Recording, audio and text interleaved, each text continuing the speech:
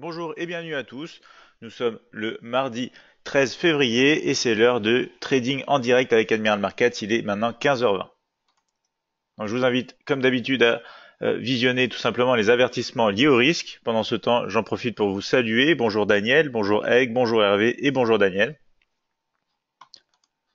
Alors si vous avez des questions, comme d'habitude, n'hésitez pas à me les poser pendant cette séance de trading. On va démarrer avec les supports et résistances de l'indice américain. Le DAX se situe donc entre le support maintenant des 12 euh, 100, la résistance des 12 345. Du côté des supports, on aura aussi les 11 925 et les 11 780. D'autres résistances sont à venir sur les 12 555 et 12 725. Du côté des marchés américains, avec l'indice Dow Jones 30 CFD, on a un support sur les 24 215 maintenant, euh, suivi tout simplement par les 23 860 et 23 620. On a des résistances et obstacles à la hausse du côté des 24 500, des 24 864 et 25 250. Du côté du Nasdaq 100, on se retrouve proche d'un support aux 6470, 6420 et 6350. Les résistances se trouvent sur les 6520, 6575 et 6630. On va maintenant passer au graphique de trading MT5 et on va voir ce qui nous attend euh, du côté des nouvelles économiques. Hein. mais comme on l'a vu ce matin, on n'aura pas grand-chose. Alors on se retrouve sur la plateforme de trading Admiral Markets MetaTrader 5. Vous voyez ici le mini terminal comme d'habitude. On regarde rapidement les données économiques attendues. On va voir euh, qu'on n'a pas grand-chose hein, mardi 13 février. Au cours de cet après-midi, on a tout simplement euh, l'absence de données puisque ici on n'aura rien sur le marché américain avant 17h30.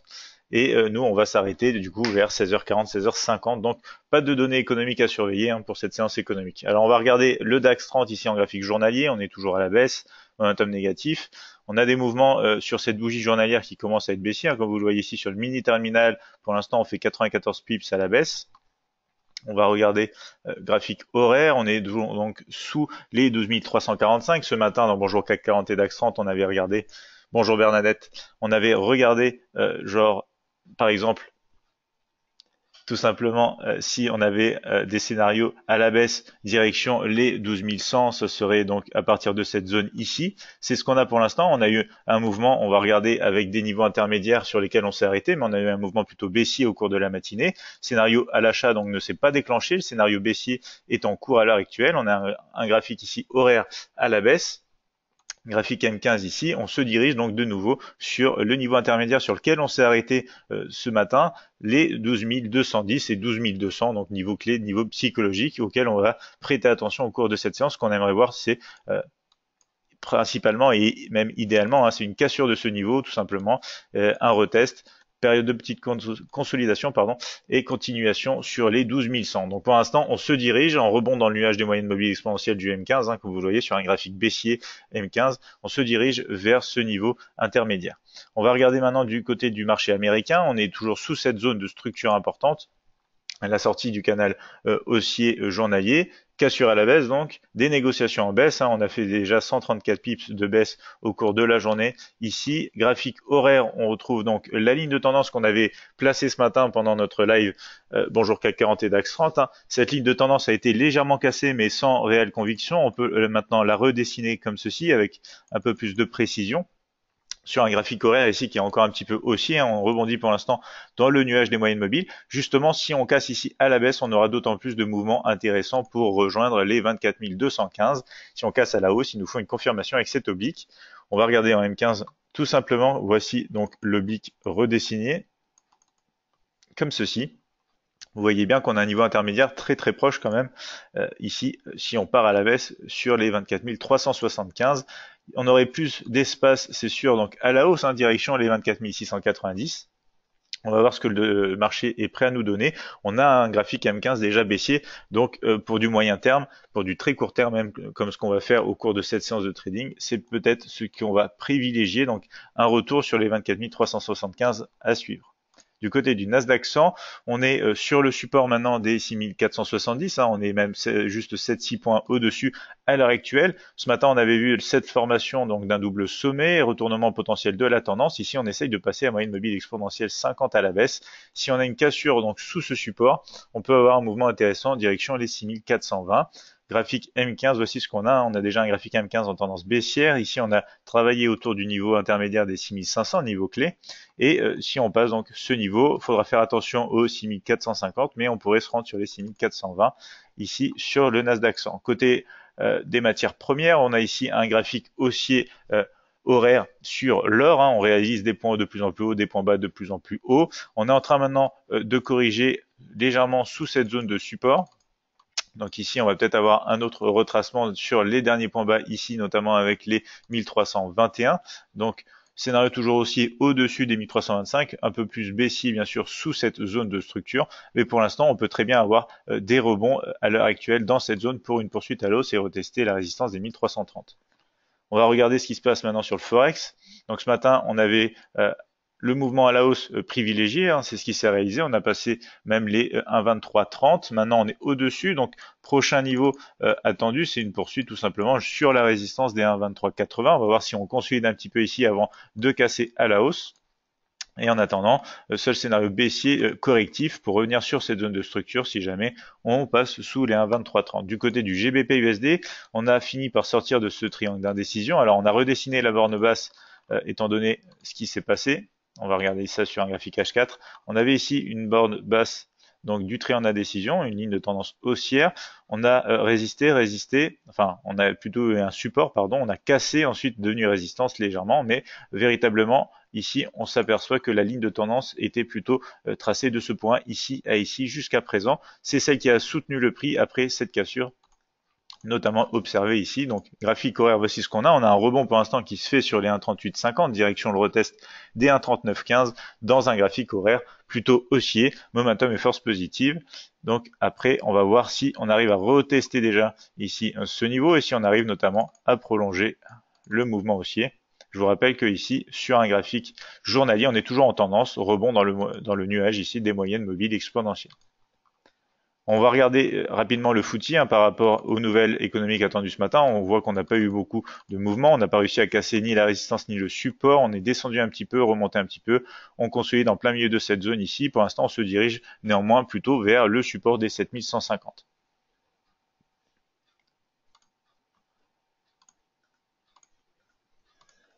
Donc nous sommes à 3 minutes de l'ouverture des marchés. On va passer euh, ici sur des graphiques un peu plus petits, hein, notamment en M5 pour voir ce qui se passe. Alors si on regarde le graphique M15, ici on a un petit peu de consolidation, on génère un point haut plus haut que le point haut précédent avec donc le fractal. Ici pareil, un petit point haut plus haut. Donc un petit point bas pardon plus haut que le point bas précédent qui rebondissait sur les 12 210. Donc pour l'instant, Mouvement correctif quand même, hein. vous voyez, on a la volonté de rejoindre une fois de plus les 12 210. Donc en graphique 5 minutes, on est repassé, ça y est, à la baisse, on a cassé les derniers points bas ici sur euh, l'indicateur fractal et en graphique à main, voici ce qu'on a, on a un mouvement qui est assez euh, déjà bien lancé. On aurait aimé que ça euh, arrive tout simplement seulement au moment de l'ouverture, hein, puisque ici on a commencé à avoir des mouvements qui se rapproche déjà, euh, pas dangereusement, mais qui se rapproche déjà euh, des 12 210. Donc notre champ d'action ici se diminue un petit, enfin diminue un petit peu tant qu'on n'a pas cassé à la baisse ce niveau. Si on avait été à bonne distance, on aurait pu quand même jouer un scénario comme par exemple la cassure euh, comme ceci de fractal pour aller chercher plus loin à la baisse. Donc on va rester patient, on va voir ce qui se passe sur les marchés. Ici, graphique 5 minutes sur le Dow Jones 30. On s'aperçoit tout simplement ici donc on va remettre les derniers points haut et bas. On va le faire ici aussi. Voilà. Donc voilà, comme ceci. Donc graphique M5, on s'aperçoit qu'on est déjà en tendance à la baisse. On essaye de retester ici cette zone de résistance. Si on la casse à la hausse, comme je vous l'ai dit, on a plus euh, de euh, tout simplement d'espace pour aller chercher euh, des mouvements correctifs à la hausse on va voir ce que l'ouverture euh, permet de définir comme mouvement intéressant et exploitable sur euh, le marché du Dow Jones 30. Ici, en graphique M5 sur le Nasdaq 100, on est en rebond pour l'instant hein, sur les 6470. On va voir euh, si on peut avoir des mouvements directionnels dès l'ouverture, mais pour l'instant, on n'a pas de setup en place. On va rester patient et on va voir ce qui se passe.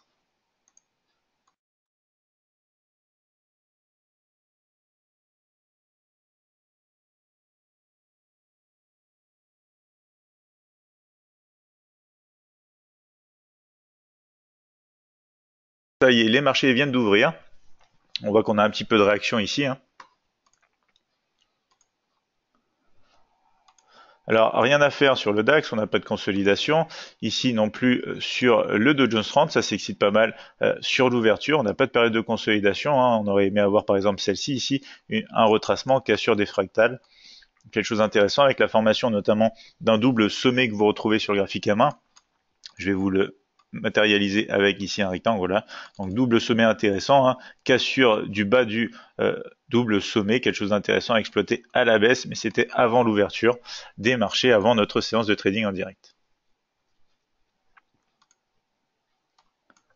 Donc ici, on a euh, quelque chose qui pourrait être exploitable peut-être sur le Nasdaq 100. Le seul souci, c'est qu'on est, euh, au-dessus du niveau des 6470 qui a joué son rôle ici de support. Donc ici, euh, vous voyez bien, on a potentiellement 13 points pour seulement 5 points. C'est pas quelque chose d'intéressant.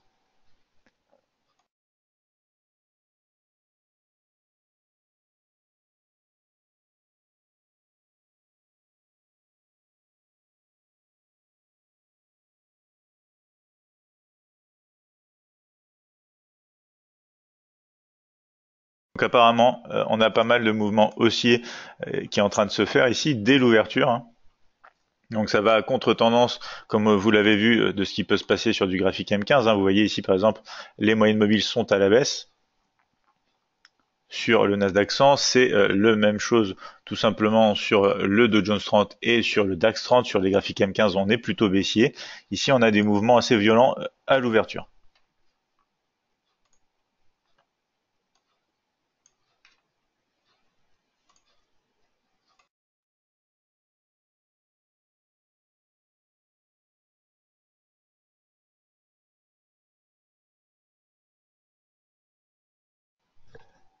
Donc ici, ça peut peut-être entraîner le cours à passer au-dessus des 24 500 sur le Dow Jones 30 et à proposer quelque chose au-dessus de cette oblique, direction le niveau intermédiaire des 24 690. Ça pourrait être quelque chose d'intéressant. Vous voyez ici en plus, on a généré quasiment aussi, si on passe peut-être voilà en graphique M5, on a généré ici un autre double bas. Donc double sommet ici en graphique M1, un double bas ici en graphique euh, M5. Donc ça consolide pas mal. Hein. On essaye de casser ici le double sommet en graphique à main. Ce qu'on va peut-être arriver à faire étant donné donc la corrélation des marchés. Ici, vous voyez bien qu'on a des mouvements plutôt haussiers euh, sur l'ouverture des marchés. Donc ce qui est euh, intéressant, c'est d'attendre un retournement de tendance, puisque comme vous le, comme vous l'avez vu hein, sur les graphiques supérieurs, que ce soit du M15 ou du M5, on est quand même plutôt baissier. Ici, on va attendre de repasser à la hausse. On est en train d'essayer de passer justement à la hausse sur le Dow Jones 30 en graphique M5. Regardez ici. On voit bien donc qu'on casse donc je vais enlever ici maintenant ces formations. Vous voyez bien ici qu'on arrive à casser le dernier point fractal, on passe au-dessus. Donc maintenant, on va être en mode scénario haussier plutôt attendu sur le Dow Jones 30 puisqu'on commence à être au-dessus de cette oblique baissière. Pour le DAX, on aurait aimé avoir un rebond sur cette zone intermédiaire hein, pour avoir un scénario aussi intéressant parce que vous voyez, on a quand même de l'espace. C'est juste que euh, on joue assez souvent autour des niveaux supérieurs, euh, donc dans les unités de temps, mais donc aussi des niveaux ici euh, intermédiaires, comme je les appelle, pour avoir euh, plus de chances de succès. On va voir si on peut quand même en tirer quelque chose ici sur le DAX. Pour l'instant, on reste patient, il n'y a rien à faire.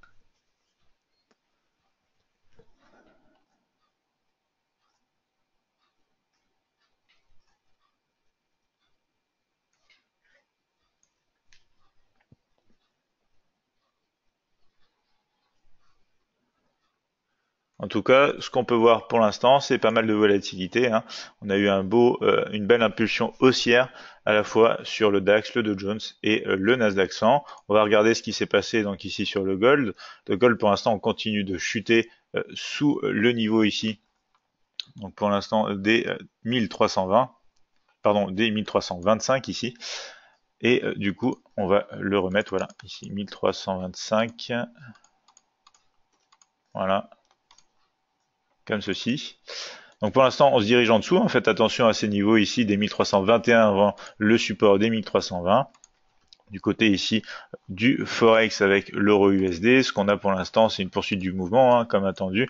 On rebondit sur le support des 1,2330, direction normalement euh, prochain arrêt potentiel et retracement depuis les 1,2380, la résistance sur ici euh, le GBP USD. Pour l'instant, il se passe pas grand chose depuis l'ouverture. On rebondit toujours depuis les 1,3850. Donc ici, en M1, on a généré un point plus haut. Donc c'est un signe déjà sur le price action d'une volonté potentielle de poursuivre à la hausse sur le Dow Jones 30. Alors Egg me dit pour quelle raison vous n'êtes pas rentré dès maintenant sur le Dow Jones 30 Alors comme je vous l'ai dit, hein, on était euh, tout simplement euh, en contre-tendance. Euh, le Dow Jones 30 sur les unités de temps supérieures sont en tendance à la baisse. Donc pour l'instant, on va rester en tendance à la baisse et on va attendre.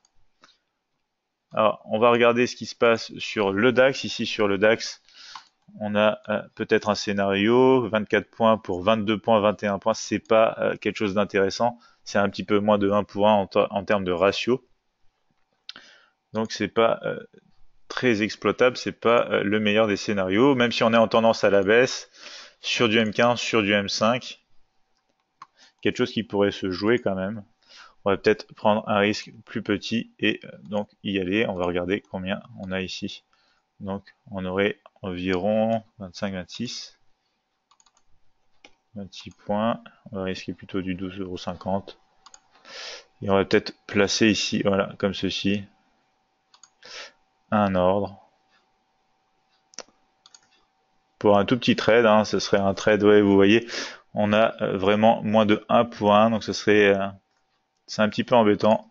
C'est pas euh, la meilleure configuration pour prendre un trade. On aime toujours avoir assez d'espace pour aller chercher des plus de points en fait que ce qu'on risque. C'est le money management qui suit tout simplement cette approche ça permet, euh, même si on a donc une série de trades perdants, ça permet que quand on a euh, des trades gagnants, tout simplement, on, on récupère euh, bien plus vite donc ces trades perdants. Donc Egg, là, par rapport au de Jones 30, vous, vous pensiez qu'on aurait pu rentrer à la hausse, c'est ça?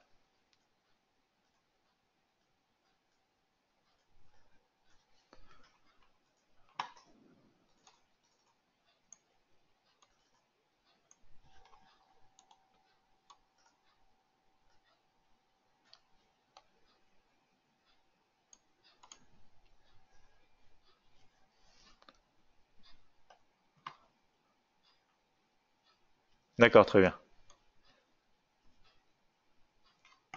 Donc là, on commence à monter sur le Dow Jones 30. On est encore en contre-tendance hein, sur un graphique M15. On commence à casser la tendance sur un graphique ici M5. Si on regarde le graphique M5, je vous le mets là. Vous voyez, on est en train, on a cassé le dernier point haut, hein. et il nous faudrait voilà des confirmations au-dessus. Le seul souci, c'est que euh, on a quand même un stop assez large. Hein, si on rentre dès maintenant, on aimerait ici, voilà, justement une correction de plus, de quoi faire une petite consolidation, avoir un point d'entrée un peu plus euh, intéressant ici. On commence à passer à la hausse aussi du côté du Nasdaq 100, hein, mais euh, le graphique M15, on n'a pas encore cassé les derniers points hauts. On essaye en ce moment même de casser les points hauts sur le graphique M5. Et vous me dites, qu'est-ce qui devrait passer pour entrer à l'achat? Alors ben, Comme je vous le disais ici, il nous faudrait donc soit la cassure de ce point haut ici, mais idéalement, étant donné, regardez, la taille du stop ici, on aurait quand même hein, dans les 122 points, c'est assez large, hein, surtout qu'on peut aller chercher approximativement que 155. Donc on aimerait tout simplement qu'on ait un point fractal ici, par exemple, qui se dessine un petit peu plus bas qu'on ait de quoi, euh, par exemple, dessiner une ligne de tendance comme ceci, un stop qui serait plus raisonnable que derrière ces deux points pour aller plus haut. Ici, c'est assez tentant quand même. Hein. On va peut-être placer un ordre même si le stop est assez large.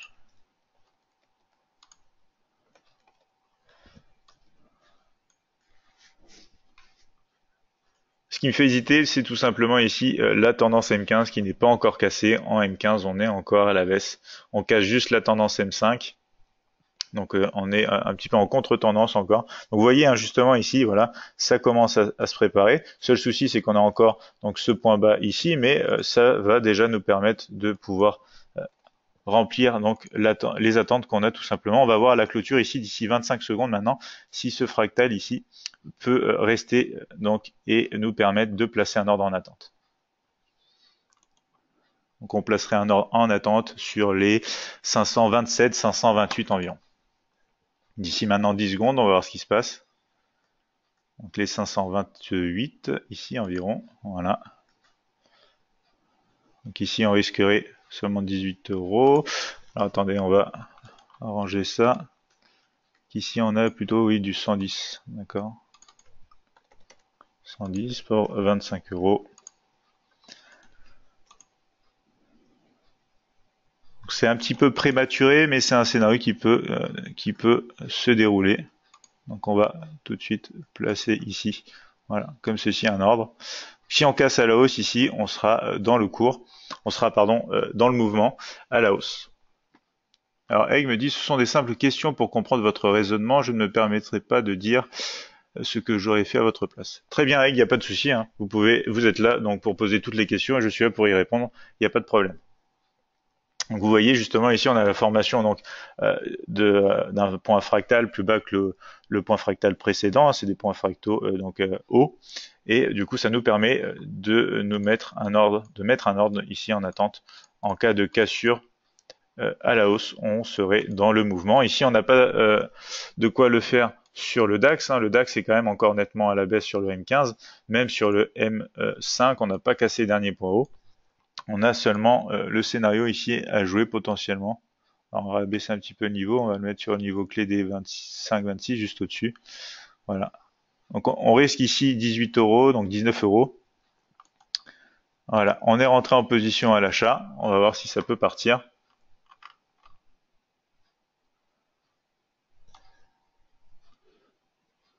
Donc sur le Nasdaq 100, on a cassé les derniers points hauts sur un graphique M5.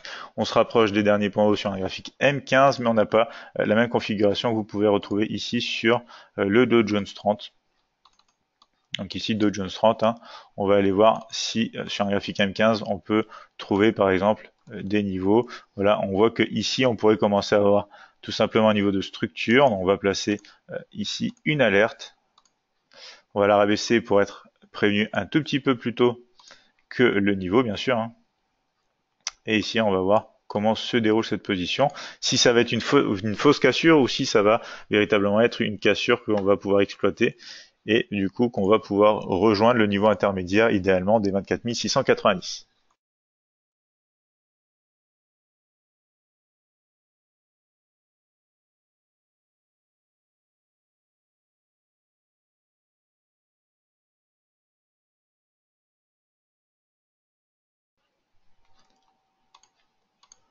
Donc si on regarde le Dow Jones 30, hein, on va regarder ça d'un petit peu plus loin. Graphique ici horaire. Donc on est euh, en train d'essayer de casser cette oblique. Donc euh, on a un mouvement quand même en sortie de cette oblique aussi, mouvement haussier. Hein. Si on met ici donc le mini terminal, on va voir qu'on a une tendance à la hausse. Tendance à la hausse, les moyennes mobiles ici horaires sont toujours haussières. Donc on pourrait euh, s'attendre à un mouvement de poursuite, tout simplement après un mouvement de retracement dans les moyennes mobiles et euh, autour de la zone des 24 500. On est rentré, nous, sur euh, le niveau ici des tout simplement 24 225, un petit peu au-dessus du niveau clé, du niveau tout simplement psychologique. Hein. C'est un niveau clé, les 24 500. Pour l'instant, on est en train de jouer autour de ce niveau. On a un stop loss situé sur les 24 409. Donc, un stop loss assez large étant donné donc le setup qu'on a eu ici. Et euh, on va voir maintenant ce qu'on peut en tirer de cette position. Pour l'instant, on a généré un petit euh, point haut plus haut que le point haut précédent. On retrace dans les moyennes mobiles exponentielles M1 maintenant. On va voir si ça peut euh, donner quelque chose à la hausse. Aussi, au contraire, on va réintégrer et rester à la baisse. Donc cette décision a été aussi faite hein, depuis euh, la formation de ce double bas ici, hein, à l'approche des 24 375 en rejet. Et du coup, on va voir si on peut euh, confirmer le mouvement d'impulsion. On a spéculé sur la cassure ici de la large oblique baissière rouge, donc je suis en graphique M15, et de cette petite oblique ici, M1, pour prendre cette position. Donc du côté euh, du DAX maintenant, on va voir que euh, la tendance est toujours à la baisse donc sur graphique M15, sur le graphique M5 aussi. On commence à avoir quelque chose d'intéressant ici. On pourrait avoir du 22 points pour du 32 points. Donc quelque chose d'assez intéressant. On va laisser ici 24 points. On va risquer 25 euh, euros. On a un peu plus de distance. Et ça nous permettrait aussi donc peut-être de couvrir notre position si jamais elle n'est pas gagnante sur ici. Voilà. Donc c'est un petit peu trop tard, je sais, voilà, on n'est pas encore rentré en position.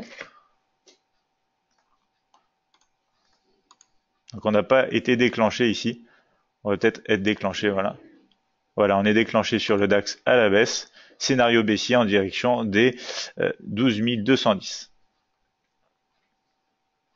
Donc ici, tendance qui se confirmait tout simplement sur les unités de temps plus larges, un rebond à la baisse. On va voir si on peut du coup rentrer et on va notamment aller voir ici sur un graphique M5 où on pourrait avoir notre premier objectif pour quand même un ratio intéressant. On va euh, placer une alerte ici à l'approche de ces niveaux. Donc ici pour un ratio un tout petit peu supérieur à 1 pour 1. Si jamais on est atteint, on pourrait commencer à sortir. Tandis que euh, le trade ici commence à se retourner. Alors on va regarder euh, ici sur le Nasdaq 100, sur 2 Jones 30 pardon.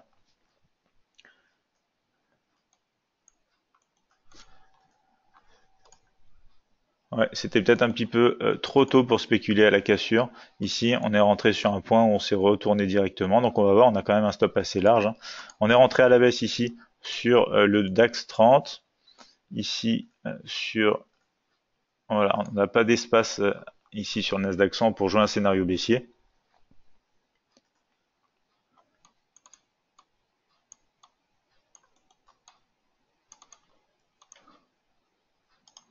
Vrai que si on prend euh, le Dow Jones 30 sur un graphique 15 minutes, on peut avoir donc une cassure attendue de ce niveau.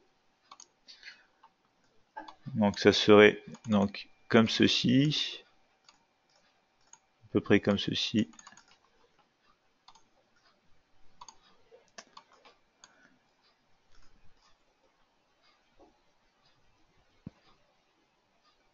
C'est un petit peu indécis hein, sur le Dow Jones 30 faut attendre de voir ce qui se passe. Ça peut consolider un temps avant de casser à la hausse ou à la baisse. On est rentré donc, comme je vous le disais, à la baisse sur le DAX. Avec euh, idéalement, donc premier objectif autour des 12 220 et euh, pourquoi pas atteindre les 12 210, ce qui ferait donc ici un gain de 33,92 euros.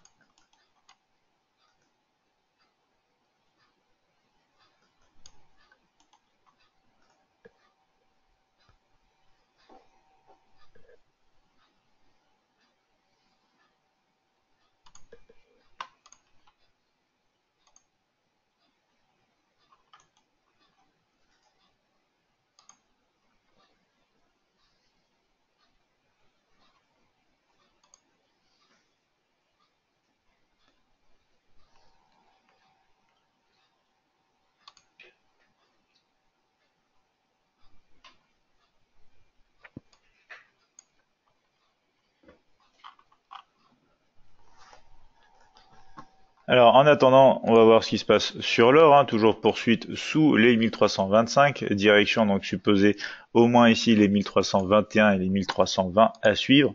Du côté donc de l'euro USD, on continue de monter, on retrace légèrement sur cette bougie M15.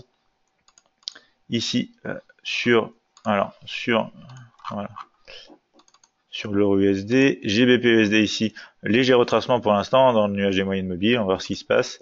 Sur le FTSE 100, pour l'instant, c'est la baisse. On regarde ici, par exemple, en graphique M15, si on rajoute notre indicateur fractal, on casse ici les derniers points bas. Donc un ton plutôt baissier pour l'instant sur les marchés européens, entre le DAX ici voilà qui continue de baisser et euh, le Dow Jones 30 qui finit donc par corriger hein, à l'encontre de notre position. Ici, c'est dommage, sur le Nasdaq 100, on aurait aimé pouvoir exploiter la baisse, mais on risquerait 24 points pour seulement 18 points euh, sur le prochain niveau de structure, donc quelque chose d'assez restreint.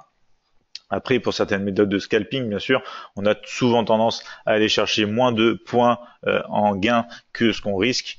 Sauf que euh, ici, c'est pas le cas, c'est pas ce qu'on va faire. Après, ça dépend bien sûr de chacun. Hein. On, peut, se positionner dans un système de trading dans lequel on va avoir un taux de réussite très très élevé hein, et euh, des, euh, des rewards, donc c'est-à-dire des bonnes positions qui ont un taux donc plus petit, donc par exemple du 0,5 sur 1 c'est sûr qu'on peut faire de l'argent puisqu'on a souvent raison. C'est euh, le seul problème, c'est qu'en général, quand on a tort, ben, ça fait beaucoup plus mal et c'est plus dur à récupérer. Alors, Egg, vous me dites sur le DAX en M15, est-ce que tous les points bas ne risquent pas de faire une ligne oblique de support dangereuse? Alors, on va regarder en M15 ici. Donc, j'imagine que vous parlez de tous ces points fractaux ici présents. Donc c'est pour ça hein, que j'ai mis une alerte ici autour des 12 920. Euh, c'est parce que tout simplement ça va correspondre avec aussi notre niveau intermédiaire des 12 210. Et vous avez raison, ça risque de générer ici une ligne euh, qui va soutenir dans un premier temps. Alors après, si on casse, ça serait l'idéal puisqu'on pourrait retrouver nous ici quelque chose d'intéressant. Retracement, par exemple ici, poursuite à la baisse, c'est euh, le scénario qu'on aimerait pouvoir voir au cours de cette séance cet après-midi. Mais c'est pour ça qu'on est, euh, on est un peu plus, euh, on joue un peu plus la sécurité avec un point notamment ici, euh, juste avant notre niveau intermédiaire de structure. Donc bien vu, sur le M15, on a des structures qui peuvent retenir la progression à la baisse ici du DAX. On est en train de chuter, on se dirige un peu maintenant sur notre stop sur le Dow Jones 30, donc on va voir. Hein. On a bien fait de prendre notre position apparemment pour l'instant sur euh, le DAX. Ça pourrait nous aider à couvrir ici la perte. Hein. Ici, on risque que 19 euros. D'ailleurs, on pourrait commencer à remonter si jamais on a des points qui euh, se présentent, puisque le scénario pourrait s'invalider sur euh, cet indice américain, le Dow Jones 100. Donc, pourquoi pas commencer à essayer de réduire notre perte et favoriser nos gains. C'est aussi des méthodes de trading qui peuvent vous aider à gagner plus, même si vous avez un trade perdant, un trade gagnant. Si vous arrivez à, réduire votre risque euh, sur la position perdante et à augmenter potentiellement le retour sur la position gagnante, mais même si vous avez un taux de réussite de 50%, donc euh, une chance sur, enfin une fois vous avez raison, une fois vous avez fait tort, eh bien vous pourrez quand même générer euh, des profits de cette manière. Alors pour l'instant, on a un rebond ici qui se fait sur cette oblique noire sur le Dow Jones 30, rebond qui du coup se fait aussi sur euh, le DAX. Alors le DAX ici on a un stop de 25 points. Il faudrait quand même qu'on arrive donc au moins à 25 pour qu'on ait euh, une prise de profit et qu'on commence à rabaisser notre stop. Pour l'instant on peut pas se permettre de le faire donc on va laisser euh, osciller les indices.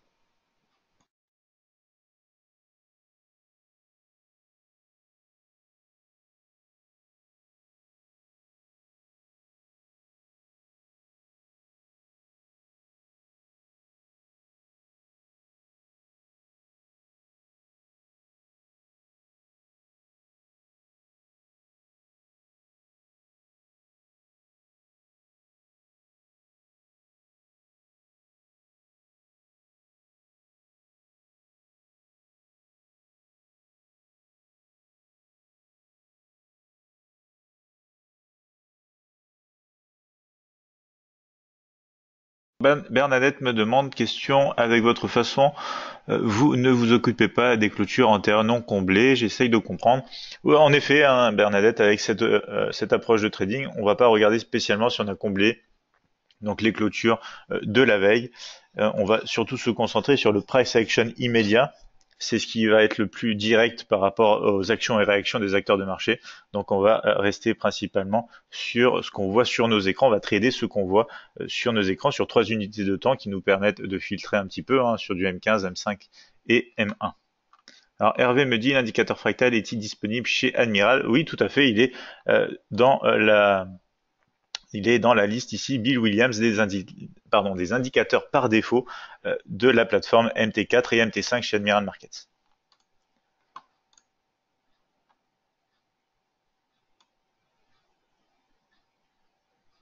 on va peut-être ici remonter notre stop, ne risquer plus que 14 euros euh, sur notre trade de Jones 30, étant donné que pour l'instant, hein, la tendance est plutôt à la baisse sur euh, les marchés. On pourrait avoir donc un trade gagnant DAX 30 et un trade perdant sur le Dow Jones 30, mais euh, on pourrait avoir donc des gains plus importants sur cette position que les pertes générées sur celle-ci. Donc ça reste quand même un scénario avantageux. Ça nous permet de générer un petit peu de profit.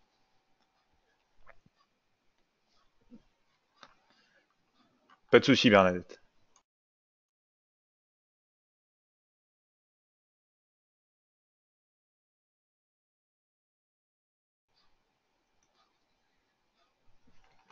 Alors ici, ce qui pourrait faire en sorte que notre position reste valide hein, sur le Dow Jones 30, c'est quand même que sur un graphique M5, on ait généré un dernier point haut plus haut que le point haut précédent, qu'on retrouve ici.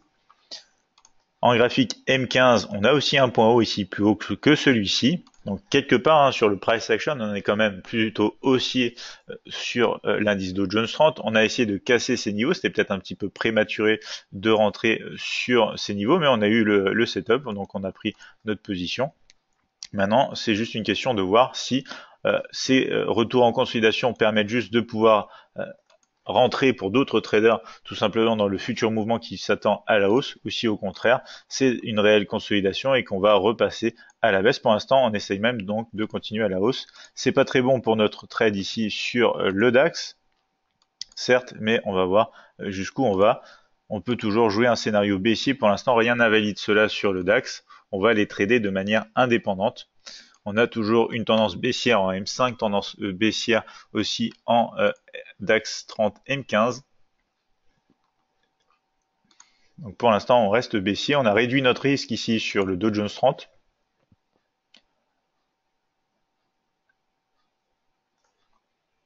Et on consolide vraiment beaucoup hein, sur le Nasdaq 100. Comme vous le voyez ici, on a, ça un triangle d'indécision qui, qui se dessine avec les points fractales. Donc des points fractales euh, vraiment intéressants à exploiter. Hein. C'est un indicateur gratuit qui fait partie donc de la plateforme MT4 MT5 Admiral Markets. Et on va regarder par exemple ici si on peut avoir quelque chose d'intéressant parce qu'on commence à avoir un ratio qui peut être intéressant. Je vais juste regarder donc sur le graphique M15 qui est toujours euh, à la baisse. On a un graphique en revanche ici M5 euh, qu'on retrouve ici voilà, un graphique M5 qui est un petit peu plus indécis, hein, vous le voyez bien. On a un point plus haut que le point précédent, et ici on a un point égal au point bas précédent. C'est un peu plus indécis, mais on est quand même potentiellement plutôt baissier. Donc il se pourrait qu'on ait aussi un scénario baissier ici. On pourrait risquer dans les 16 points pour aller chercher 24. C'est assez intéressant. Donc du 16 points ici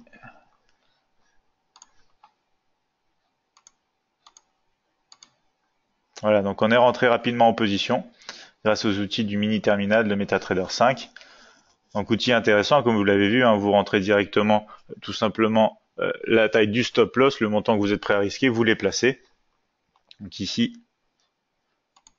voilà, mon stop est peut-être un petit peu trop bas, on va le remonter, voilà. Il faut qu'il soit égal à 26, 25 euros. Voilà. Donc un scénario baissier euh, qui peut euh, se tenter ici euh, en sortie de consolidation véritablement sur le Nasdaq 100.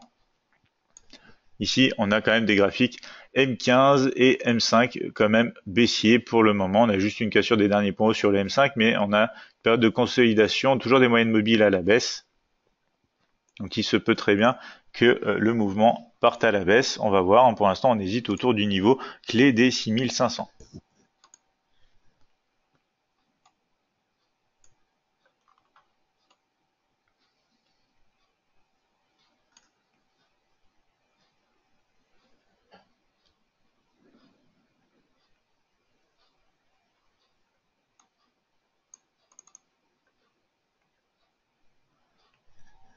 Donc ce type de trading, ça revient aussi hein, sur le Nasdaq 100 par exemple. Si on va en M15, je vais vous montrer, ça revient à jouer tout simplement. Peut-être enlever les derniers points haut et bas pour que vous ayez une meilleure visibilité. Ça revient à jouer tout simplement ici un retracement. Vous voyez, on a une jambe plus basse que la jambe précédente. On a un retour dans les moyennes mobiles exponentielles. On joue un retracement ici dans le cadre d'une tendance qui est baissière encore sur ce graphique. Ici, tendance baissière, comme le, mini terminal l'indique, hein, tendance baissière sur le M15 pour le Nasdaq 100. Donc, on suit euh, cette tendance et on essaye d'exploiter donc le mouvement qui pourrait sortir d'une zone de consolidation ici pour euh, tout simplement se rendre sur des tests des euh, périodes ici un petit peu plus basses. Voilà, on va par exemple se mettre ici. C'est un bon niveau et on va regarder des niveaux intermédiaires. Alors ici, on pourrait en effet hein, avoir quelque chose, on va quand même se mettre en M5. On pourrait avoir des niveaux de structure intéressants, on pourrait avoir quelque chose dans ces niveaux, on va mettre une alerte, comme ceci.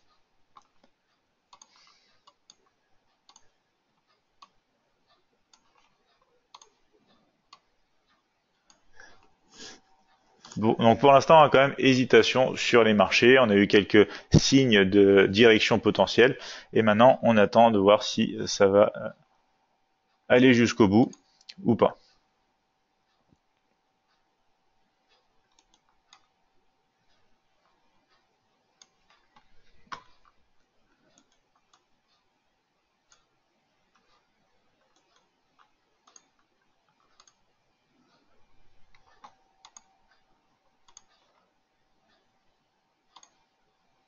Donc ici, en cas de, cassure à la baisse, hein, sur le Dow Jones 30, ah, donc on s'est fait sortir sur le Nasdaq 100, enfin quand on est parti à la hausse.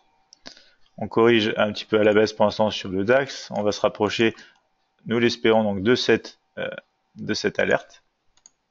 Donc cassure pour l'instant à la hausse du triangle d'indécision ici sur le Nasdaq 100, donc mauvaise position pour nous. Si on a un retournement de la tendance, on pourrait l'exploiter si on a le temps au cours de cette séance, bien sûr. Sinon, euh, je vous invite à le faire euh, suite à la séance. On pourrait avoir quelque chose d'intéressant au-dessus des 6500, direction les 6550 et 6575. On repart pour l'instant à la hausse ici donc euh, sur le Dow Jones 30 et le DAX aussi quand on commence à corriger et on revient notamment sur notre point d'entrée.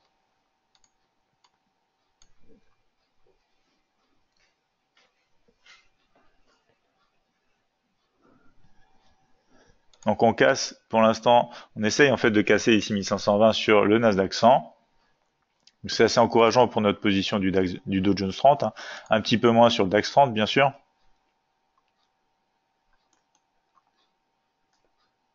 On est passé à euh, seulement, ici, seulement, oui, 2-3 points hein, de notre alerte. Donc si jamais on retouche ces niveaux, on va euh, potentiellement ici pouvoir des profits.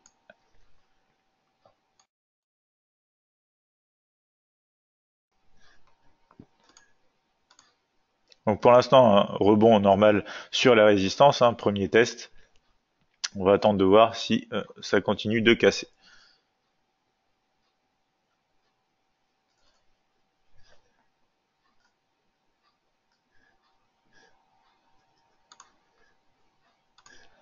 Donc ici, on voit que euh, on a notre point d'entrée qui fait zone de structure. Hein. pour l'instant, on rebondit à la baisse. On aimerait avoir la cassure des derniers points bas pour confirmer la baisse sur le DAX 30.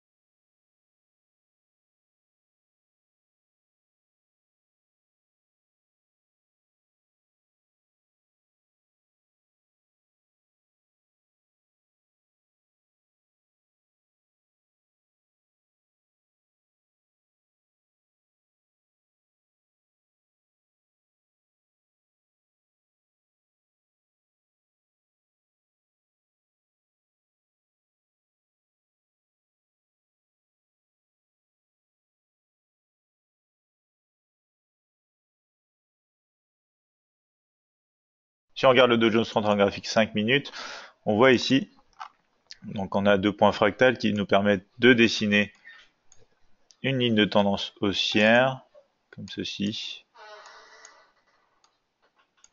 On est quand même sous un niveau important, des 24500. On a un rejet sur cette bougie pour l'instant.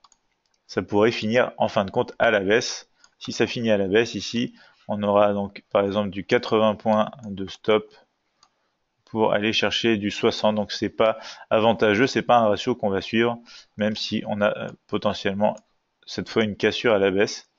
Sauf si on tient à ce niveau, hein, si c'est la dernière chance pour cette position haussière, bien sûr.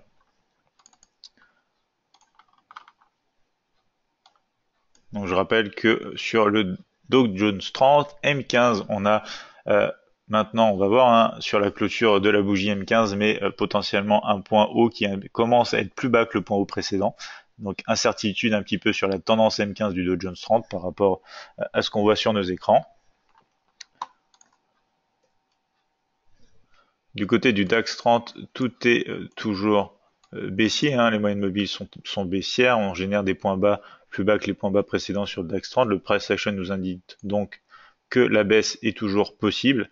On est en période d'indécision sur du M5 pour le Dow Jones 30 puisqu'on a euh, ici, comme vous le voyez, cette oblique haussière qui se place ici. On est rentré, nous, à la hausse ici, à la cassure, proche de l'ouverture des marchés.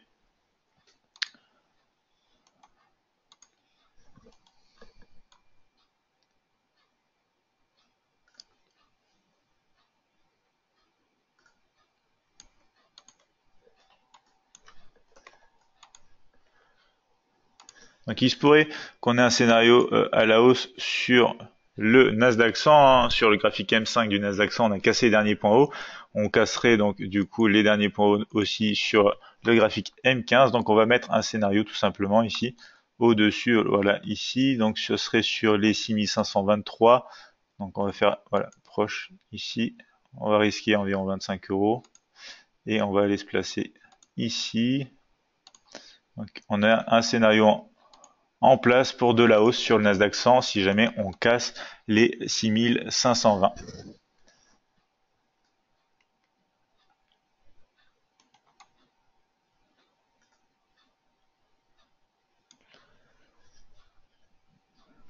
Donc ici un ratio de 1 pour 1 quasiment sur le Nasdaq 100 pour cette position si jamais on passe à la hausse. Si on repasse ici à la baisse, on va regarder mais du côté du M5, on n'est plus vraiment baissier, hein, comme je vous le disais.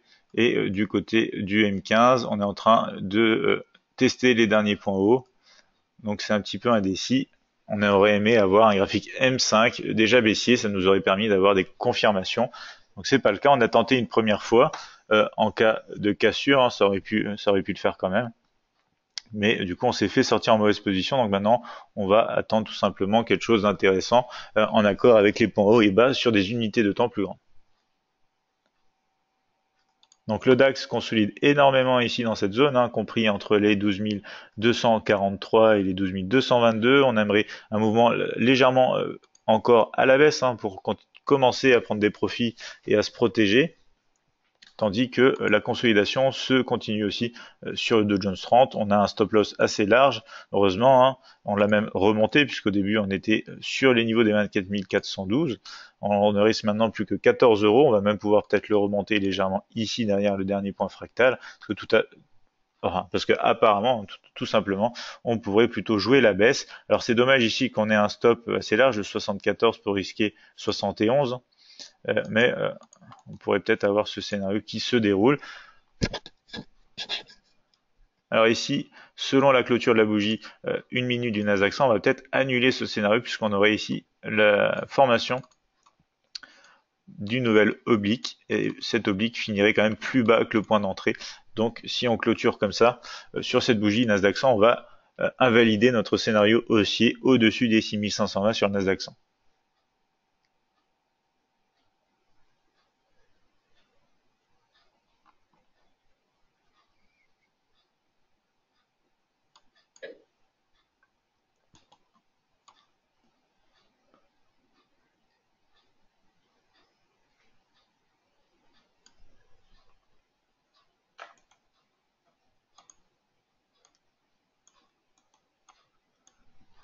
Il y a quelque chose qui peut être intéressant à la baisse ici. Donc on va remonter le stop et on va ici euh, se positionner potentiellement. On a, ouais, non, on a un ratio qui est pas favorable.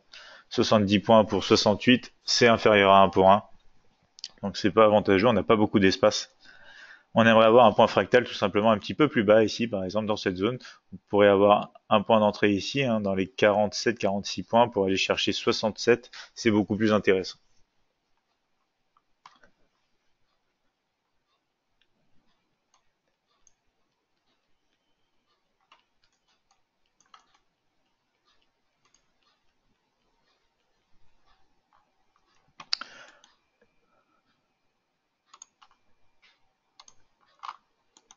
Donc voilà, la bougie a clôturé, donc maintenant on va enlever tout simplement notre point d'entrée, puisque techniquement parlant, il serait sur les 6515, et ces 6515 sont en dessous donc des 6520. Alors Bernadette nous dit beaucoup d'actions euh, américaines dans le rouge, cela aide pas pour monter. Oui, vous avez raison. Et on tient quand même notre position ici. Hein. pour l'instant, on a euh, réussi à résister euh, au retracement. Peut-être qu'on va avoir un mouvement d'impulsion au-dessus, une fois de plus, des 24 500 qui pourrait commencer à nous permettre de remonter le stop et de nous protéger au fur et à mesure. Ici, on a potentiellement, vous le voyez, une cassure aussi sur le Nasdaq 100 cassure euh, ici. Dommage qu'on se situe sous les niveaux des 6520. Sinon, ça aurait été un setup intéressant pour rejoindre les 6550.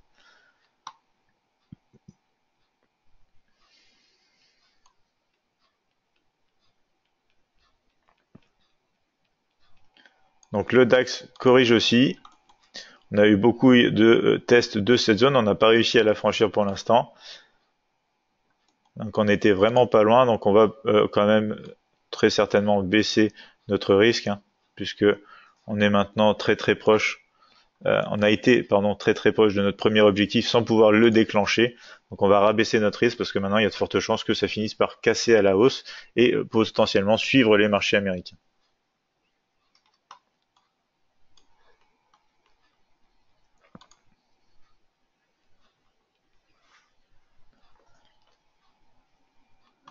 Vous voyez hein, la corrélation, ici on se heurte aux 24 500 sur le Dow Jones 30, on réagit de manière identique pour l'instant sur les 12 245 sur le DAX 30. Donc on risque maintenant plus que 3,23€ euh, sur le DAX 30 et ici seulement 13,75€. Alors on va le laisser ici quand même. 13,37€ sur le Dow Jones 30. Donc pour l'instant, on a un beau euh, rejet, hein. on a encore une seconde, voilà, on va clôturer à la baisse sur cette bougie. On a un rejet euh, pour l'instant du niveau euh, donc des 245, 12 245 sur le DAX 30.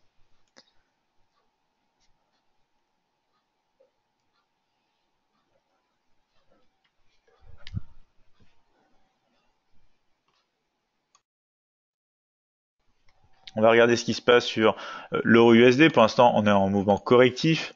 Donc si on est en graphique M1, on voit bien qu'on a généré des points hauts de plus en plus haut, donc retracement dans le nuage des moyennes mobiles. Toujours tendance haussière bien sûr sur l'euro USD. Ici le GBP USD, donc mouvement correctif. On n'arrive pas à rejoindre pour l'instant les 1,3915. Quant au FTSE 100 pour l'instant, il ne fait pas grand chose. Il est aussi un petit peu en zone de consolidation. Vous voyez beaucoup d'échanges ici. Hein. C'est une séance pour l'instant assez calme.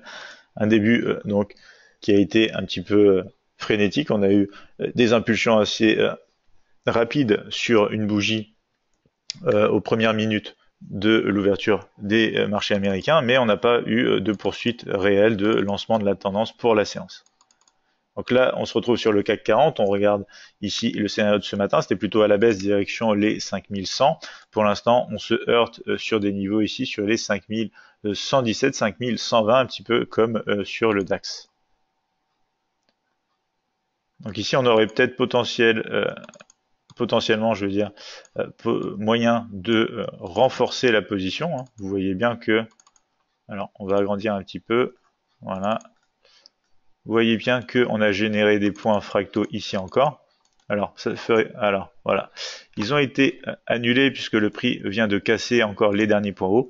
Donc, on n'a pas de nouveaux scénarios scénario pour renforcer ici une position à l'achat qu'on a déjà euh, sur le Dow Jones 30.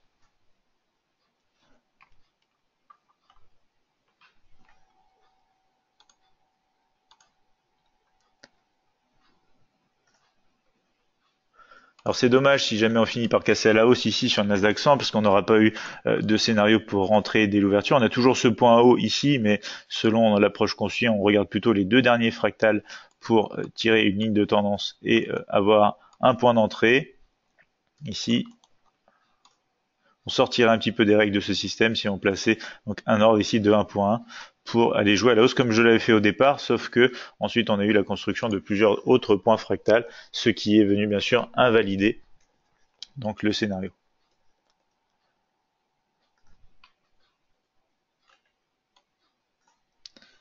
Donc ici, euh, si on casse à la hausse sur le DAX, euh, enfin, ça serait de la contre-tendance, donc on va pas jouer le scénario haussier, même si on a de l'espace hein, jusqu'au 12 345, ça serait de la contre-tendance par rapport aux unités de temps supérieures.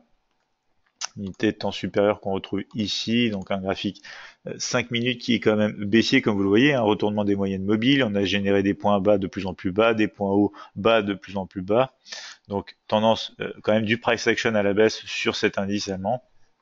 Et ici, euh, on a cassé notamment une oblique. Ici, on est plutôt sous les niveaux inférieurs de cette oblique. On a un beau rejet de cette partie ici des nuages euh, des moyennes mobiles exponentielles.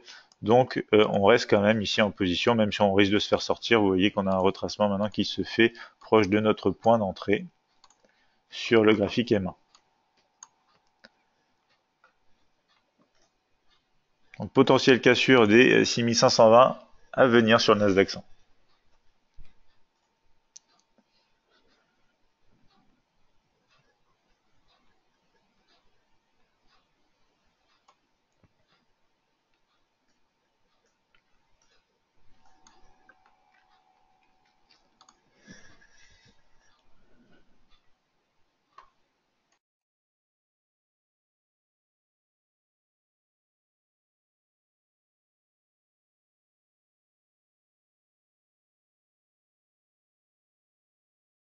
Il est maintenant 16h15. Hein. La séance américaine finit bien sûr bien plus tard, donc vous aurez peut-être l'occasion de voir les mouvements directionnels attendus, soit au-dessus des résistances, soit en dessous des supports ou des niveaux inférieurs de structure. Donc on verra ça au cours de cet après-midi si euh, on a des mouvements d'ici la fin de cette séance de training en direct avec Admiral Markets.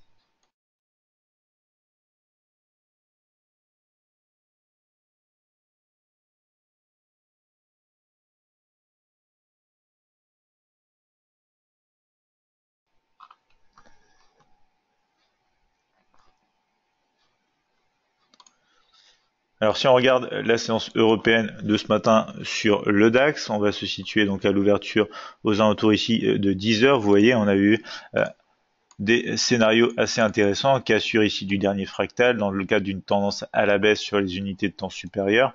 Donc quelque chose qui aurait donné des points intéressants en direction ici encore des 12 210. Ensuite, des périodes de retracement. Alors ici, euh, si on n'avait pas fait attention, hein, on aurait eu euh, des mauvaises positions. Ensuite ici, euh, des bonnes positions avec un stop bien placé ici au-dessus. Ici encore avec la formation d'un double sommet. Donc ici encore, vous auriez pu avoir des renforts, des positions à la baisse, toujours en direction des 12 210.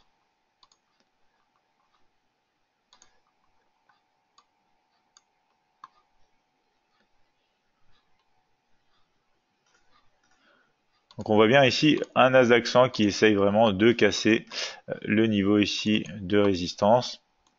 Pour l'instant on n'y arrive pas. Léger retracement, graphique M15 aussi, ce qu'on a, on a cassé les derniers points hauts, ça y est.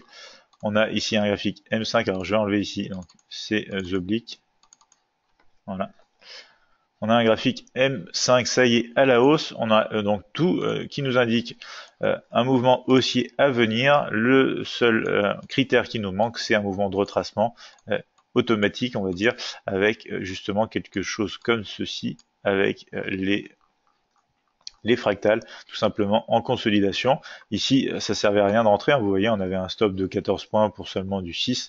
Donc, à part pour du scalping très très court et encore, euh, il faudrait ensuite se protéger rapidement et du coup, on serait déjà fait sortir en mode break-even. Donc, euh, c'est pas l'approche qu'on suit ici dans nos lives de trading. On va rester euh, plutôt conservateur et on va essayer d'avoir des scénarios avantageux avec assez d'espace pour aller chercher des ratios intéressants. Alors qu'est-ce qui se passe maintenant sur Dow Jones 30 Dow Jones 30, rapidement si on regarde ensemble sur le M15, on va voir quoi? On va voir que on a donc un point haut plus bas que celui précédent, un point bas ici plus bas que celui-ci. Alors même si on n'a pas clôturé en dessous, ce qui est un peu gênant, on préfère toujours avoir aussi une clôture euh, sous les derniers points, c'est toujours plus avantageux. En graphique M5, le seul souci c'est que voilà, on a un point ici plus haut que celui-ci et des points euh, euh, bas plus haut que les précédents. Donc si on n'avait pas ici ce niveau, si on n'avait pas par exemple ce point fractal ici, il serait plus bas que celui-là on aurait pu euh, chercher quelque chose pour casser et chercher la baisse sur cet indice en réintégration sous les 24 500. C'est pas le cas malheureusement. Donc on reste dans notre scénario euh, depuis l'ouverture ici, depuis l'ouverture de la séance américaine, avec donc un scénario plutôt haussier, euh, direction idéalement donc les 24 690 pour un ratio assez intéressant. Surtout que maintenant on a réduit notre risque. On s'est fait sortir sur le DAX pour une perte minime. On a pu, on a perdu donc 3,30€. Mais au moins on est euh, protégé dans le sens où euh, si jamais on retraçait, on n'aurait pas perdu donc tout notre, toute notre position puisqu'on était passé vraiment très proche à quelques points seulement, vous voyez, hein, à deux points en fait de notre premier objectif. Donc là, pour l'instant, les marchés euh, démarrent à la hausse. Hein. On aurait aimé être dans le mouvement sur Nasdaq 100 on est euh, impliqué dans un mouvement aussi du Dow Jones 30 pour l'instant, seule position qui court, puisque le DAX, comme je vous l'ai montré, est dans une tendance quand même euh, baissière sur les unités de temps plus larges, donc on ne va pas spéculer sur un retournement de tendance en partant d'une unité M1 qui est la plus petite unité de temps sur la plateforme. Donc ici, pour l'instant, ça monte pas mal sur le DAX. On est repassé sur notre niveau de point d'entrée euh, sur le Dow Jones 30 après pas mal de corrections. Hein. et on démarre aussi la hausse ici sur donc voilà ici sur le Nasdaq 100. Donc si on a un retracement, petite euh, ici tout simplement petite euh, correction à venir sur le Nasdaq 100, ce serait la bienvenue. On pourrait profiter d'un mouvement à la hausse puisque maintenant tout indique quand même euh, une poursuite haussière hein, sur les indices. Alors Bernadette me demande quelle MM j'utilise. Alors c'est toujours la même, c'est moyenne mobile exponentielle 50 et moyenne mobile 20 exponentielle aussi.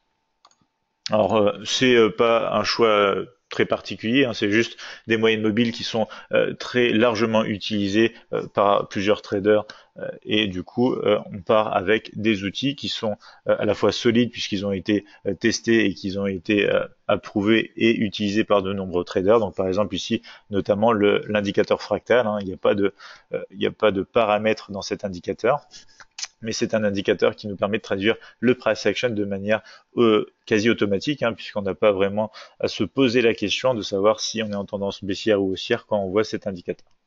Je vous en prie Bernadette.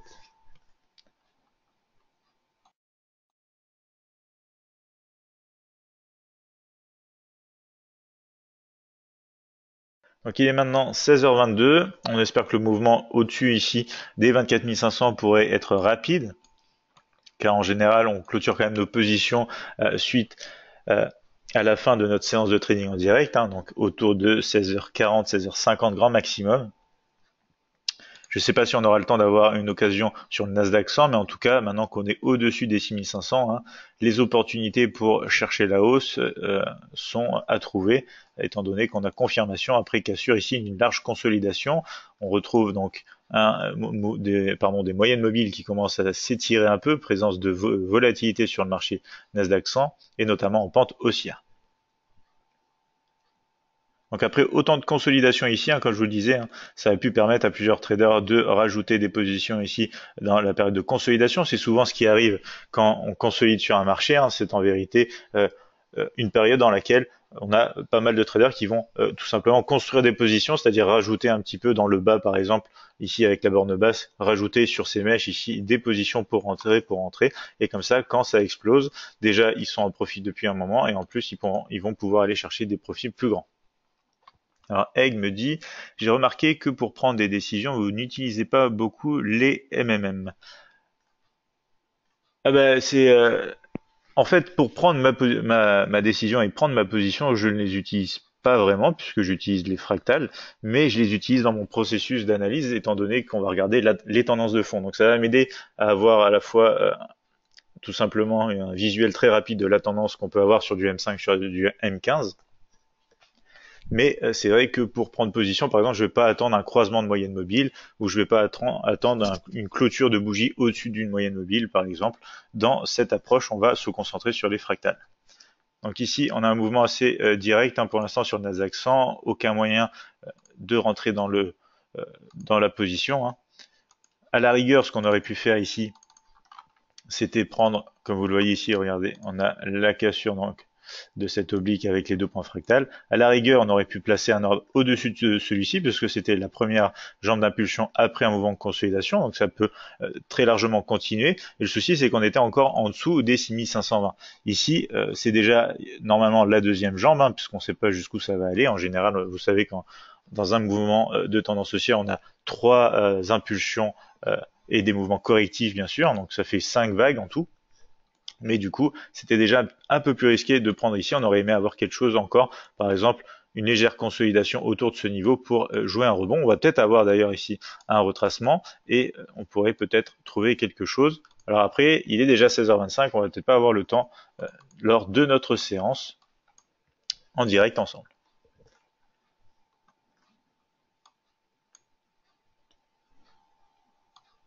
Vous voyez ici, alors notre stop était placé là, on serait quasiment euh, au point d'entrée, au point de stop loss, pardon. Donc pour l'instant, on a bien fait de sortir. On va voir si jamais on touche le stop loss. Dans, dans ce cas-là, on aura véritablement bien fait de rabaisser notre stop loss. Donc pour l'instant, une séance où on a une mauvaise position sur Nasdaq 100 et une toute petite perte ici de 3 euros sur le DAX 30.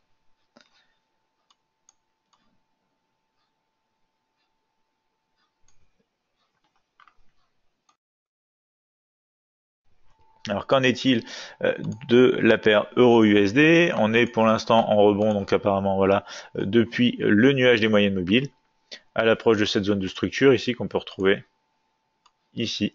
Voilà, on a rebondi légèrement dans cette approche. Donc par exemple, si vous avez la même approche sur le Forex, ici malheureusement, hein, on n'a pas de point fractal qui permettent de euh, tracer une ligne et attendre une cassure pour prendre position et aller retester les derniers points hauts. Donc il n'y aurait pas eu de setup ici à voir.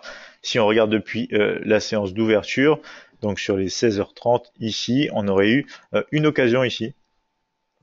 Et notamment, euh, si vous voulez renforcer une autre petite occasion ici pour aller chercher des points plus hauts, il aurait fallu bien regarder le côté des objectifs puisqu'on n'a pas touché encore hein, le niveau de résistance des 1,2380. Donc sur GBP USD, depuis l'ouverture, on va voir ce qui s'est passé. On va rajouter les points fractales. Donc depuis l'ouverture à 16h ici. Alors, contrairement à l'euro USD, vous voyez bien qu'on ne se trouve pas sur des zones de structure euh, assez intéressantes. Donc on est un petit peu au milieu de nulle part et euh, on retrouve donc ça justement dans euh, les mouvements qu'on voit. 16h30 hein. c'est à peu près ici. On a une cassure ici à la hausse en accord avec les moyennes mobiles pour poursuivre à la hausse, mais c'est pas un mouvement aussi directionnel que sur l'euro USD. Ça paye aussi loin. Donc pour l'instant, le FTSE 100 suit euh, l'indice DAX 30, hein, la même chose, consolidation, consolidation, on finit par casser plutôt à la hausse. Alors ici, si on regarde sur un graphique, euh, justement, M15, hein, on a quand même une configuration encore baissière, on reteste justement un petit peu ce nuage et même un peu au-dessus, mais on a toujours des points bas plus bas que les points bas précédents, même que euh, cette structure-ci a été encore déplacée et euh, du coup euh, on a plutôt un setup euh, baissier sous ces niveaux de structure. On est en train de négocier un petit peu au-dessus, donc peut-être retournement de la tendance comme sur les autres indices. Sur le CAC ici, si on met aussi notre indicateur fractal, hein, on va voir que c'est un peu la même chose. On a ici donc un M15 qui commence à générer un point plus haut, un point bas pardon, plus haut que le point bas précédent. Donc ça va dépendre de la clôture de cette bougie ici. Mais euh, au début, on a eu ici donc euh, notamment euh, autour de 15h30 heures de la plateforme. Donc ça fait 12h30 heures de Paris. On a eu un beau mouvement en rejet de la moyenne mobile ici. Donc on retrace maintenant légèrement direction les 24 500 sur le Dow Jones 30. Donc normalement c'est un retracement tout à fait légitime. Hein. On va peut-être même avoir une concordance avec euh, cette oblique ici, entre voilà la résistance qui devient maintenant support. Donc d'ailleurs, on euh, va la mettre en rouge, les 24 500 qui jouent maintenant le rôle de support. C'est un mouvement typique, hein, cassure d'une zone, retest et rebond attendu pour une poursuite à la hausse. Donc ici, à la hausse justement, avec donc les flèches. La flèche qu'on va mettre ici, voilà, comme ceci, c'est le mouvement attendu. Alors je ne sais pas si on va avoir l'occasion de le voir, il est déjà 16h30. Donc voilà, comme ceci. Mouvement tendu à la hausse déjà avec un premier objectif donc autour des 24 630, niveau intéressant. Alors ce qui peut euh, aussi arriver ici, hein, c'est qu'on a déjà la formation, comme vous le voyez ici, un premier point fractal. L'idéal, ce serait d'en avoir un deuxième ici un peu plus bas et ensuite d'attendre la cassure au-dessus du niveau important de structure pour une poursuite direction les 6550, 6575. Et quant au DAX ici, bah, étant donné tout simplement euh, la tendance de fond, donc DAX M15 euh, qui est plutôt quand même ah ça y est, on a eu la clôture donc de la bougie M15. Donc ici on commence à rentrer un petit peu en consolidation sur le DAX, donc pas grand chose, on a juste une tendance haussière sur le price action en DAX 30 M5. Et euh, du coup, il n'y a pas grand chose à faire, on a quand même pas mal de résistance du côté du DAX M15 avec les moyennes mobiles notamment.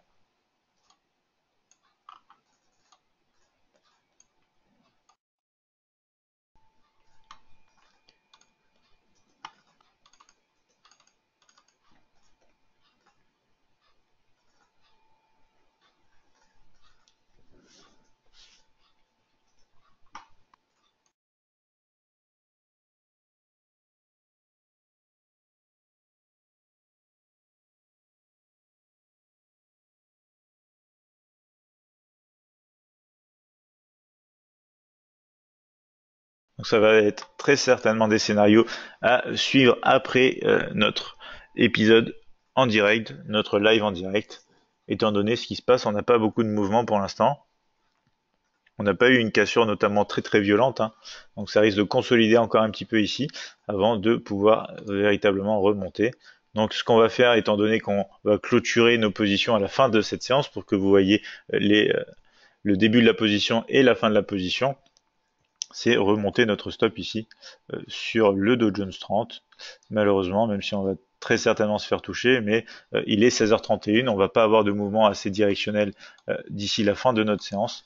Donc si on trade jusqu'à la fin de la séance, on laisse le scénario bien sûr se dérouler jusqu'à son aboutissement.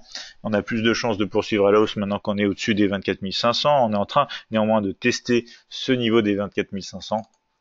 Et notamment on a une oblique ici haussière qui peut aussi jouer le rôle de soutien, d'où euh, le placement du stop loss ici. On risque maintenant seulement 7,49€ sur cette position, de toute façon qu'on va clôturer, donc très certainement, comme je vous le disais, avant la fin de cette séance.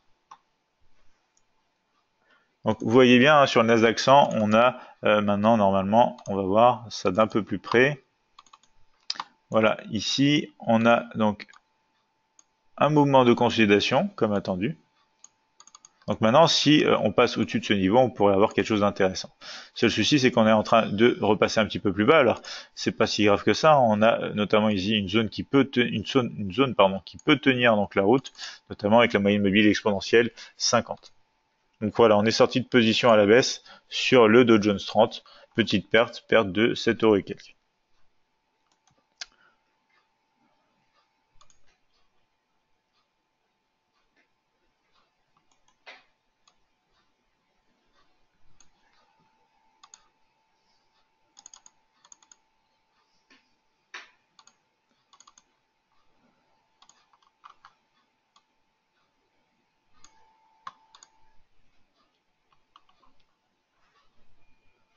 Donc pour l'instant, on repasse largement hein, quand même sous les 24 500. Donc on reteste sûrement euh, ces niveaux ici pour voir si on tient réellement le choc et si on peut poursuivre à la hausse ou si on, au contraire on casse ces niveaux et on se dirige sur les 24 375 avec le Dow Jones 30.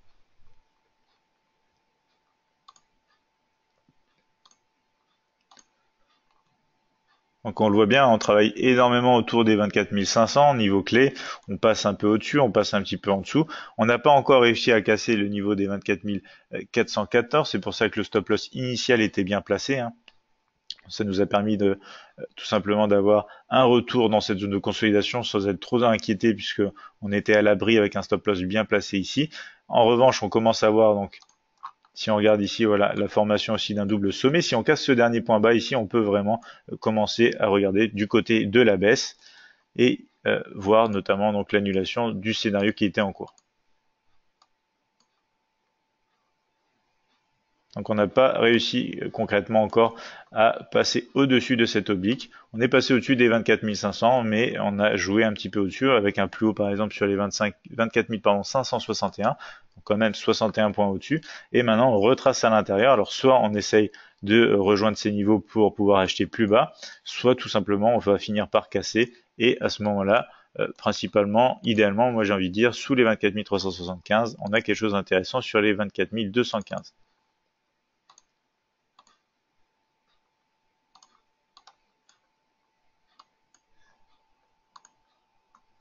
Donc ici, on pourrait même reprendre position. Il est 16h35, donc on n'aura pas le temps de le faire, mais position vendeuse, puisque le DAX est toujours en tendance à la baisse. Légère consolidation sur le graphique M15, mais euh, on, a, ah non, on a sur le graphique M5, pardon, un retournement de tendance quand même, vous voyez, avec un dernier point haut plus haut que le dernier point haut ici précédent. Donc la price action ici nous indique quand même qu'on n'est plus en tendance à la baisse. Donc rien à faire sur euh, le DAX. On fait que pour l'instant retester les derniers points bas.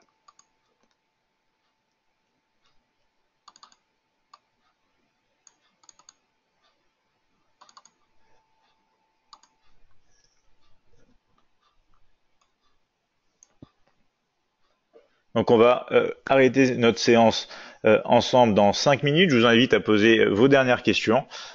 Et ensuite, on arrêtera la journée pour cette séance de training.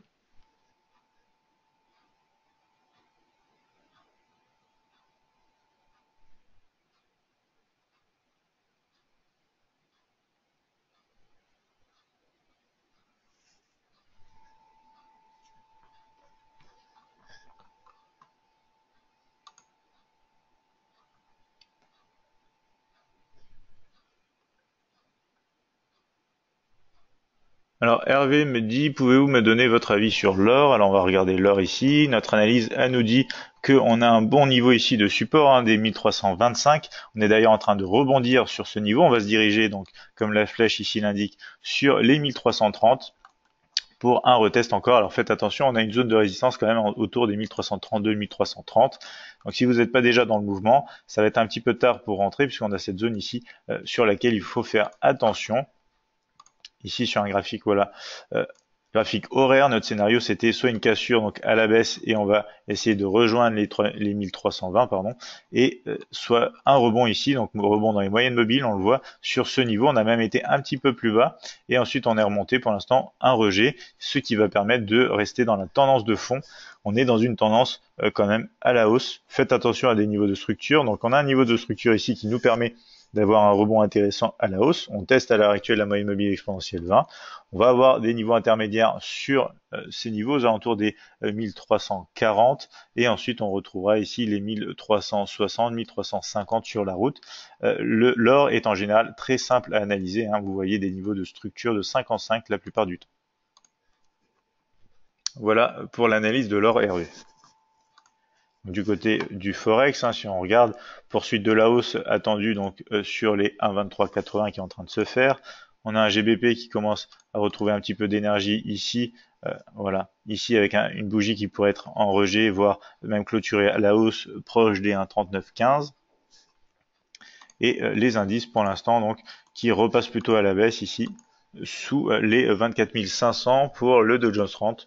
Donc il y a beaucoup osciller au-dessus, en dessous, sans réel mouvement. Donc ici, si on casse maintenant les 24 450, on pourrait avoir un mouvement au moins jusqu'au 24 375. Alors ici, le stop serait encore assez large, hein.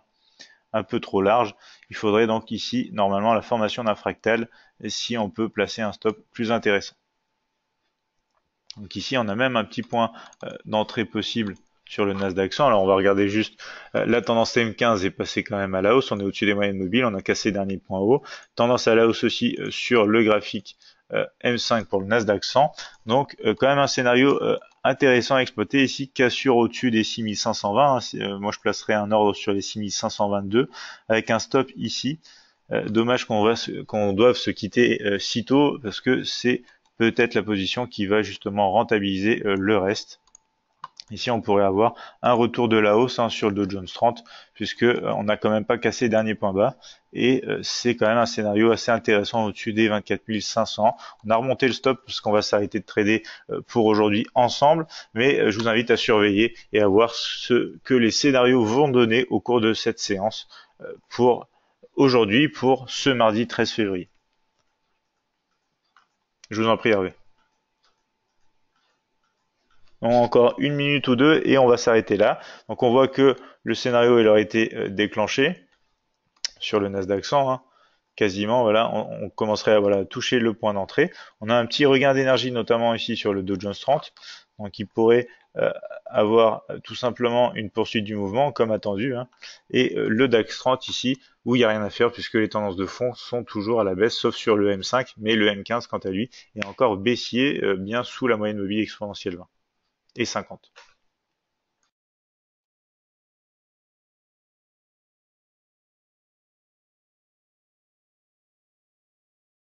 Donc voilà, vous le voyez, on a un démarrage ici de là-haut sur le Nasdaq 100.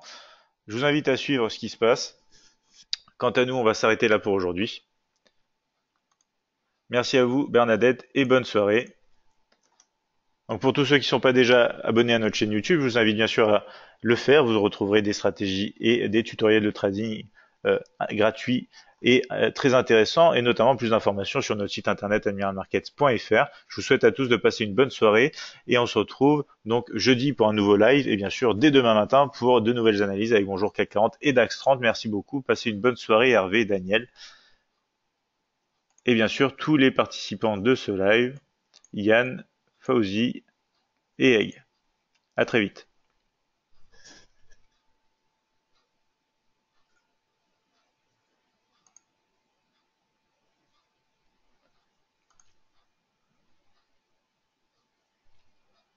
À très bientôt Yann.